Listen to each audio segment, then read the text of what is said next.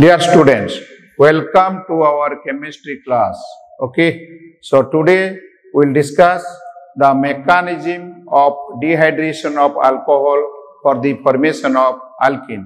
Okay, students, in the last class we have read or we have already discussed the dehydration of alcohol for the formation of alkene at 170 degree centigrade.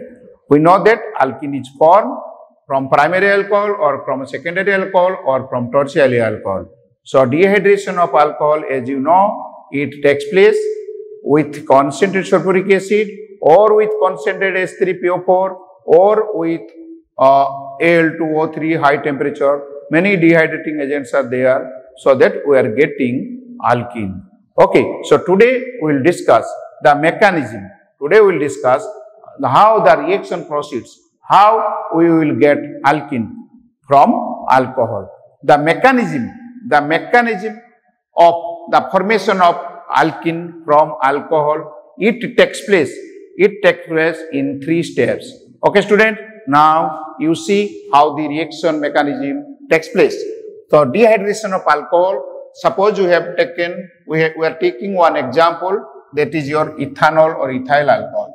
Okay, in the presence of concentrated sulfuric acid, 143 Kelvin, okay, it leads to the formation of ethene and water. So this is your dehydration reaction. Okay, the mechanism of this reaction, the mechanism of this reaction takes place in the following steps or in that is in three steps. First step is what? First step is your formation of protonated alcohol. First step is the formation of protonated alcohol. Formation of protonated alcohol, that is also said to be formation of oxonium ion. Oxonium ion kain ko auchi? Because positive charge is there on the oxygen. Okay, how it happens you see, this is your sulfuric acid, it dissociates to form H plus and HSO minus. HSO minus is your bisulfate. Okay, and this is your H plus or proton. So your first step is formation of protonated alcohol or even even you can speak. First step that is your alcohol. It will be protonated. Means addition of proton. Addition of proton means HCl to alcohol. This is your ethyl alcohol. We are combining ethyl alcohol with what? With H plus. Okay. The alcohol contains uh, OH group the oxygen atom contains two lone pair of electron it will provide the lone pair of electron to the H plus ion when this lone pair of electron goes to the H plus ion, oxygen becomes, it will be become positively charged. Okay, then what will be your intermediate? This will be your CH3, CH2, CH3, CH2, O plus, bond H, bond H, bond H. So, this is your protonated alcohol or it is said to be ethyl oxonium ion.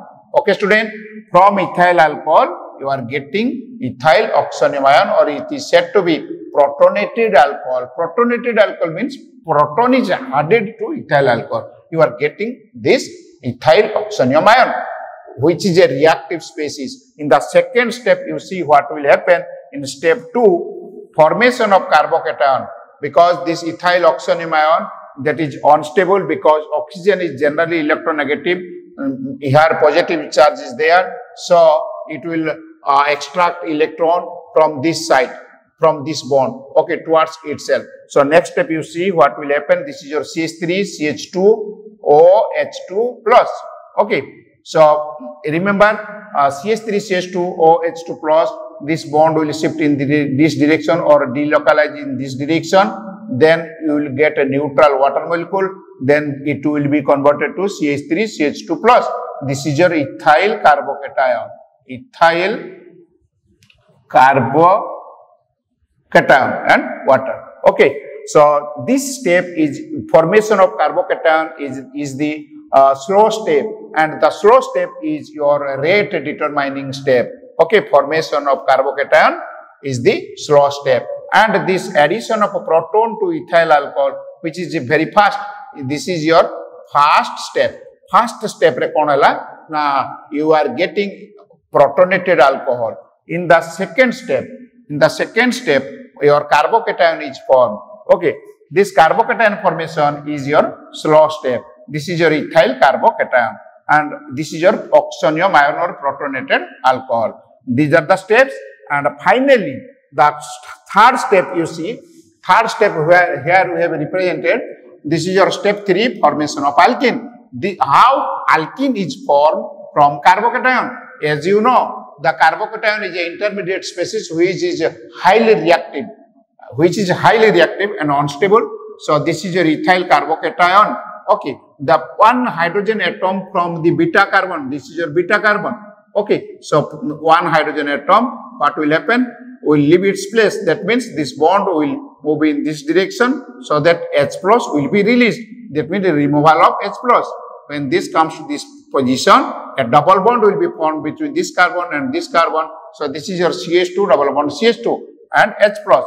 Already you know when sulfuric acid is dissociated, already we, uh, H plus ion and HS upper minus is there. HS, H plus is utilized for the protonation and this is your H, S upper minus which is negatively charged species. And then what will happen? This, uh, this is your proton. Okay the HSO4 minus left in the reaction, it will combine with H plus to form H2SO4. Also, we can speak due to the presence of bisulfate ion, this bisulfate ion will abstract the will abstract the H plus ion from this carbocation to form alkene.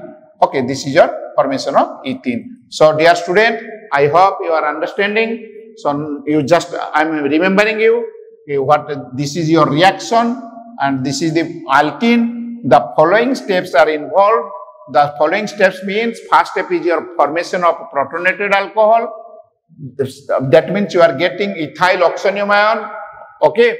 In the, in the second, which is your first step, and this step two, formation of carbocation. We are getting carbocation from ethyl oxonium ion.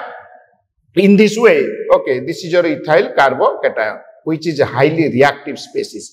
Then from this ethyl carbocation to make it stable, so what we are observing in this step, uh, one H plus ion will be uh, removed from the beta carbon.